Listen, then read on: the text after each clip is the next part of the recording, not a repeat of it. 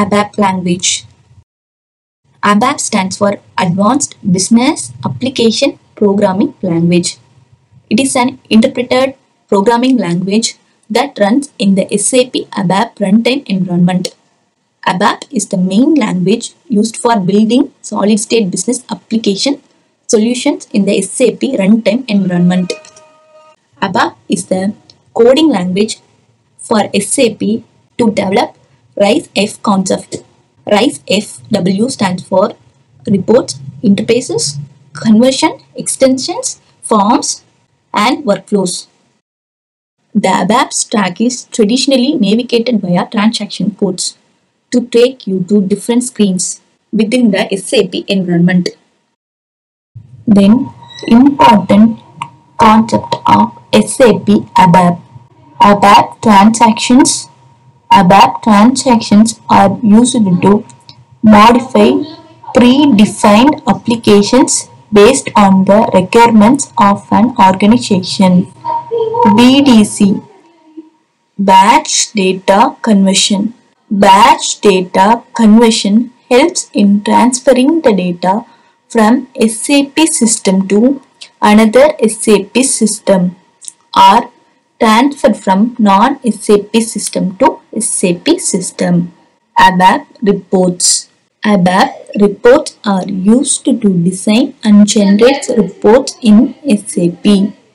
With help of reports, an organization can check daily sales and turnover. What is meant by ABAP Workbench? SAP ABAP Workbench is a set of tools that can generate components of SAP applications. The important components of Workbench are ABAP Editor, ABAP Dictionary, Screen Painter, Menu Painter, Function Builder, Form Painter, Message Class Builder. ABAP tools. We should know what is meant by ABAP tool. Then what are the ABAP tools available? ABAP tools are used to design and process business requirements such as BDC, LSMW, scripts, forms, screen painter, business workflow, BAPI, ALE and WebDynPro. Roles of SAP ABAP consultant. SAP ABAP consultants are responsible for developing SAP business applications using SAP standard programming language like ABAP. The main roles and responsibilities of SAP ABAP consultant are SAP ABAP consultants plays crucial role in the implementation of SAP software for an organization.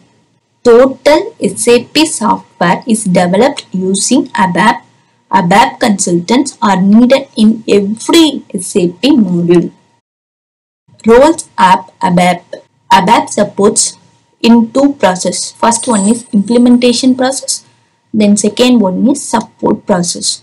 In the implementation process, how ABAP helps, we'll see getting the business requirement document from functional consultant or functional analyst. Then analyze the business requirement. Then analyze the estimate time for development. Then development of object that means ABAP applications.